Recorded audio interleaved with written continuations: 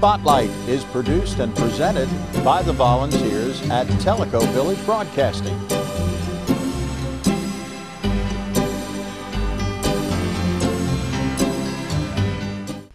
Good afternoon and welcome to Spotlight on Tellico Village. I'm your host, Elliot Domans.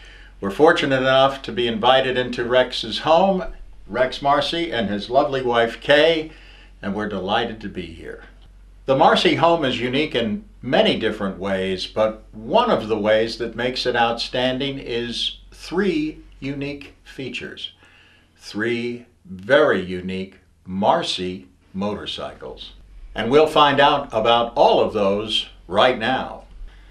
Now, Rex, this particular bike behind us is the bike that you designed in 1973, is that correct? Yes, that's correct. Okay. Why don't you tell us more about the very unique features of this particular motorcycle and uh, we'll show the viewers exactly what all that entails. Okay, so uh, the most unique part of this motorcycle is the frame itself, the portion, the gray part from here to here is the fact that it's a one-piece cast magnesium frame motorcycle.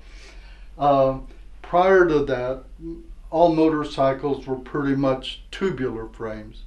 And the benefit of, of this type of structure is the fact that it weighs less. You can incorporate the fuel cell into it, the battery, and other components, keeps them out of the way and makes a safer, lighter motorcycle. The second most unique part of the bike is the fact that the seat runs from almost the steering head to the back of the bike, which gives you more flexibility when you're riding. In this particular case, it's a motocross bike or flat track and ice racing bike. It gives you the ability to, to maneuver, uh, get around much better. The fact that the fuel cell is below the seat gives you a lower center of gravity, which permits you to maneuver even better, and uh, it, it results in better handling. Third is the fact that with this type of frame, you can build a cradle to hold the engine that you can simply drop the whole engine, transmission, and everything with just three bolts. Uh, the reason I designed this bike was the fact that I'd only been racing motorcycles for like two years. And I recognized the fact that motorcycles have a lot of uh, appendages, maybe for lack of a better word, but like handlebars stick out, foot pegs stick out, kickstarters, are, they're just too unsafe. So when you are able to contain all of these components inside, uh, makes it a much safer vehicle. Makes it lighter, uh, gives you better handling characteristics. There's just a plethora of different things that make this a better situation. Now, when you were racing Formula cars, Yeah. okay, for Cosworth Ford, I mean, you were in an open car, an open Formula race car, right, with a roll bar and Yeah. cage and everything else, Yes. Where you had obviously much more protection than you would on this. Yes. But as I understand it, you decided to go to motorcycle design and racing to get yourself in shape. Well, that was the original excuse. yeah, but uh, it it was more appealing. Uh, it was uh, uh, less expensive. Formula cars can wipe you out. I mean, financially in Right. a very quick period of time.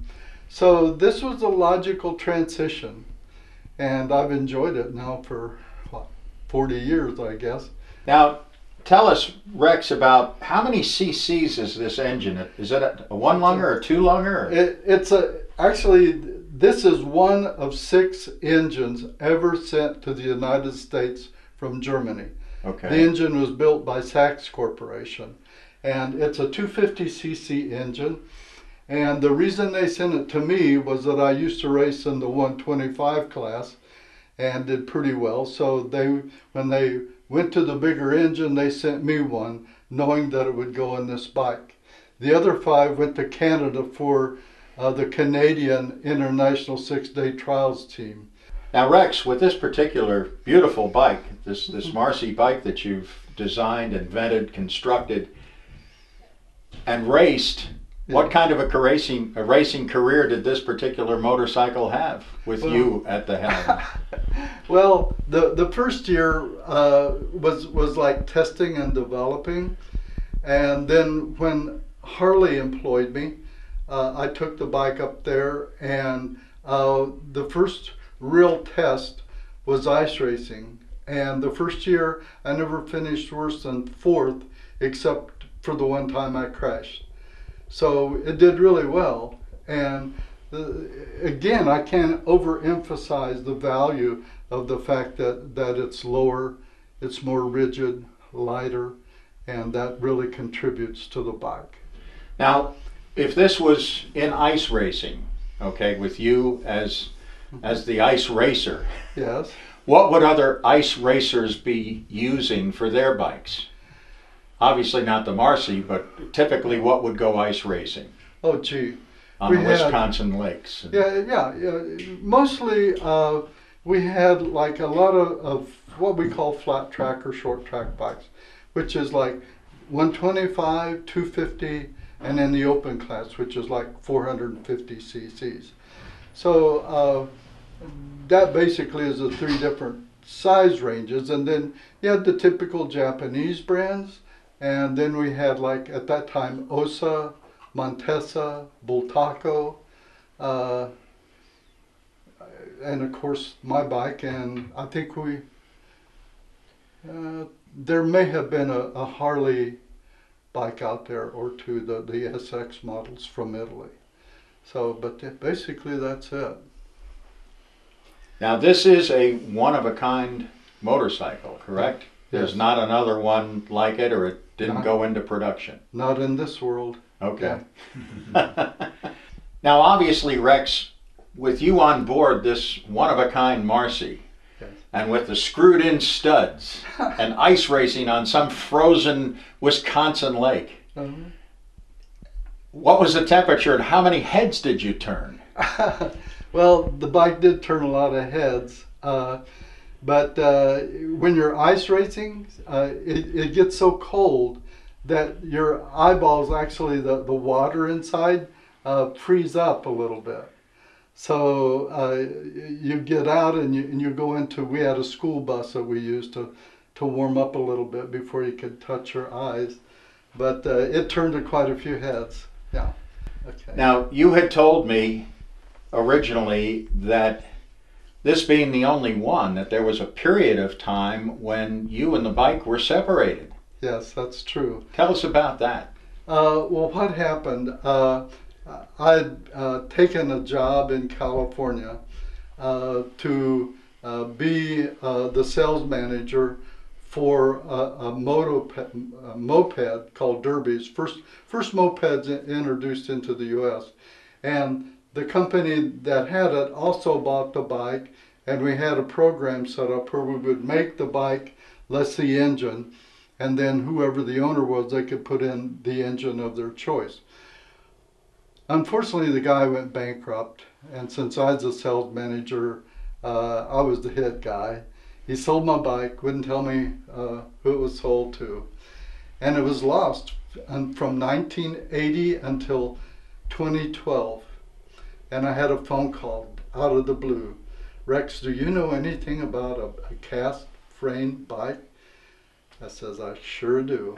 and I agreed to to meet the guy in Indianapolis. I bought it back for three thousand dollars in a basket.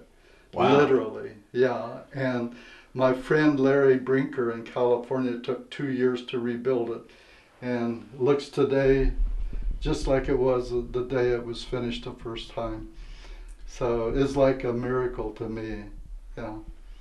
So it, it traveled from originally from Wisconsin or California to Wisconsin, ended up in Indiana. It actually went from Georgia to Wisconsin to California to Illinois, and I picked it up in Indianapolis. I met the guy halfway, and brought it home. This And then shipped one it to of a the- kind Yeah. Marcy motorcycle. Yes, yes. What a fabulous history right there. I mean, Yeah. you, you must have been just over the moon when this telephone call came from a Yeah. from a guy out of nowhere in Indiana and said, "Do you know anything about this Marcy motorcycle?" And you said, "Yes, of course, I, I'm Marcy. I'm the guy."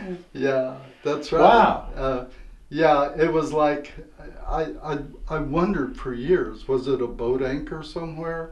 Uh, was it in a junk pile? Was it, you know, ground up? I, I had no idea. And as as serious as like a miracle, you couldn't pray. At least I can't pray for material things, but it was like I couldn't have prayed for something and have it come so true in a miracle effect as this is. Rex, that's astounding. Obviously, you were meant to be reunited with your one of a kind Marcy motorcycle. That's just incredible. Yes, it is. Now, Rex, this is the second motorcycle behind us, correct? That you Yes. formulated and built Yes. and designed. Yes. Tell us about the unique features that this bike has. Well, first I'll have to, to uh, refer back to, to Marcy Memories a little bit because in there it tells the fact that I helped start the Buell Motorcycle Company. I didn't become a part of it because Bell Helmets owned me at the period, at that period in time. And they discouraged me from leaving Bell to join Erik Buell. They said he's a hot rodder, he'll never last. He lasted 25 years and made about 25,000 motorcycles. Buell's a big name in motorcycles, and, and Bell is no shrinking violet when it comes to the famous Bell motorcycle racing helmet. So Yes. you were in very good company. Yes, I was. I've been fortunate. Uh, I've been uh, I've been affiliated with some good companies and some good names, and it's helped my career. There's no doubt about that. So what happened? Like I say, I, I didn't leave Bell to join Buell, and I I always felt like I missed out on something. So in the early '90s, I decided, okay, I'm going to try again. So in state in California, you can buy all the components you need for a motorcycle. So I designed this bike to take advantage of all the accessory companies in California. I, I bought the frame from C&J. They tailored it to the engine, uh, Mhm. which at that time was a Husaberg. And then the forks, my friend Erik Buell actually sent these to me. The wheels and brakes were from PM in California. And the body work is, is beautiful. And that was crafted by a guy by the name of Rob North. He was a British guy. He built in the 60s, 70s, and 80s, he built almost all of the, the famous uh, world championship bikes. He's a real craftsman, it's pretty obvious. And later on, the engine, the Husaberg, uh, Husaberg went out of business. I was without an engine. so a friend at Honda uh, set me up with a CR 500 water cooled engine that's uh, uh, was built by a guy named Kel Carruthers, who was world champion two or three times in the 250 class. This engine delivers 70 horsepower. The bike with that much gasoline in it is 210 pounds. That's a three to one weight to power ratio. That is a rocket ship. Now, Rex, I understand that this particular bike has a very unusual rear suspension. Tell us, tell us about that. Uh, pulling from my uh, Formula car racing experience, I built a rear suspension uh, very much like a Formula car in the fact that when the rear wheel comes up, there's an arm that pushes down and rotates off of a pivot point that pushes in on the shock absorber. And the beauty of that is the fact that you're once again lowering the center of gravity. You're leaving more space here for other components, which also can be dropped. So it, it is very unique. You said that this is a, a cafe racer. Yes. I'm totally unfamiliar with that jargon, so fill me in on that. Okay. And then you also had a racing experience with us, Oh or yeah. or a close call? Not a close call. Well, well what happened is a, a cafe racer is a racer with headlights and a horn. and that's it. But yeah, we, we took it up to Willow Springs quite a bit. And it's what, what happens is that we had uh, an understeer condition. In other words, like turn nine, you go into it at about 135 miles an hour. Wait a minute. 135 miles an hour? You on this? Maybe 136. yeah. But you, wow. but, but what happens is that it, it understeers and instead of turning, it just has a tendency to go straight. So you wheel hop your way right into the barriers, the, No, the foam no, barrels, or No, you, you can recover quick enough, you know, Okay. so, yeah, but that's pretty much how it went, yeah. We never did really get all the bugs out of this bike, but it, uh, it was irrelevant anyhow, because we never could get a production engine. We went to Kawasaki, Honda, Yamaha, no one was able to supply us, so, uh, unfortunately, it became a dead horse.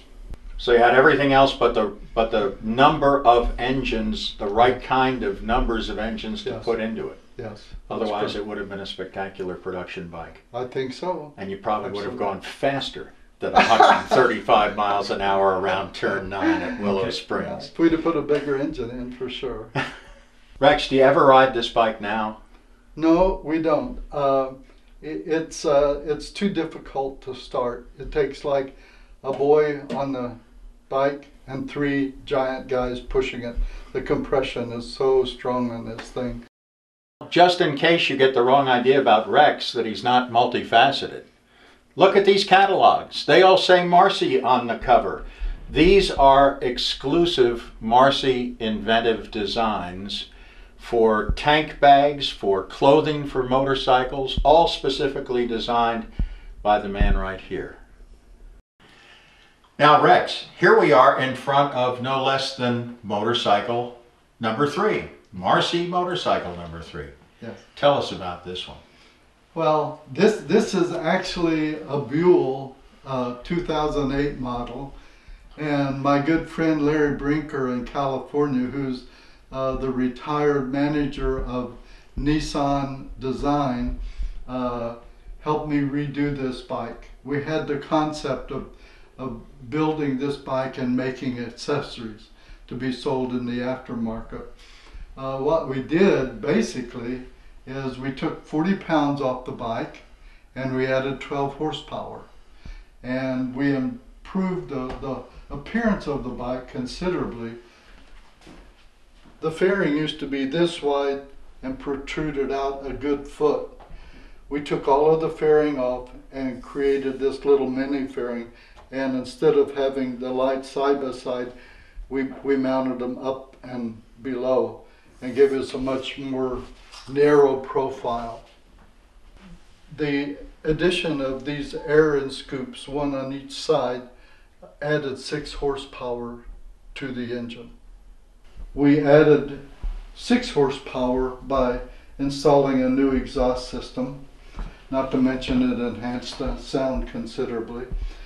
What looks like a fuel tank is not a fuel tank. Actually, the frame is a fuel tank.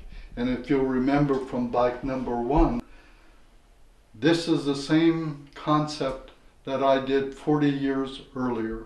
If you'll notice, we've added wider handlebars uh, simply because it gives you better maneuverability, similar to what you would experience with a motocross bike or something of that nature. Now this looks like it's very rider friendly.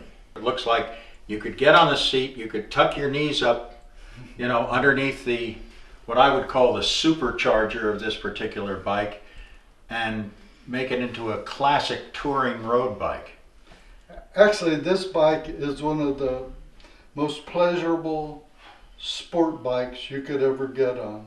Uh, the seating position is perfect. The handlebars are elevated so that you're not bent over as much as you are on some sport bikes. And uh, with the wider handlebars, it gives you better maneuverability, as I'd mentioned before.